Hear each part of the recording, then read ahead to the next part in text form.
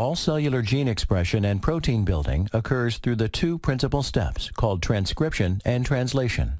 In transcription, DNA's information is encoded or transcribed into messenger RNA or mRNA. The process begins when RNA polymerase opens the double helix of DNA, like the slider on a zipper. It unwinds the DNA double helix and pries the two DNA strands apart. As the RNA polymerase continues down the length of the DNA, several actions take place. It reads one strand of the DNA and transcribes the DNA's information. It creates an mRNA version of the DNA, or transcript. The mRNA transcript is a complementary copy of the DNA sequence. When the transcription ends and the mRNA template is complete, it separates from the DNA template and exits the nucleus through pores. The template enters the cytoplasm on its way to the next step in the process of polypeptide synthesis, translation.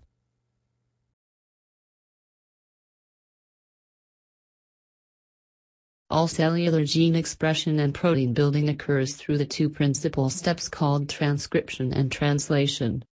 In transcription, DNA's information is encoded or transcribed into messenger RNA, mRNA. The process begins when RNA polymerase opens the double helix of DNA, like the slider on a zipper. It unwinds the DNA double helix and pries the two DNA strands apart. As the RNA polymerase continues down the length of the DNA, several actions take place. It reads one strand of the DNA and transcribes the DNA's information. It creates an mRNA version of the DNA or transcript. The mRNA transcript is a complementary copy of the DNA sequence.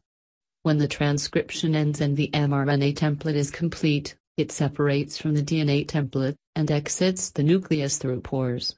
The template enters the cytoplasm on its way to the next step in the process of polypeptide synthesis, translation.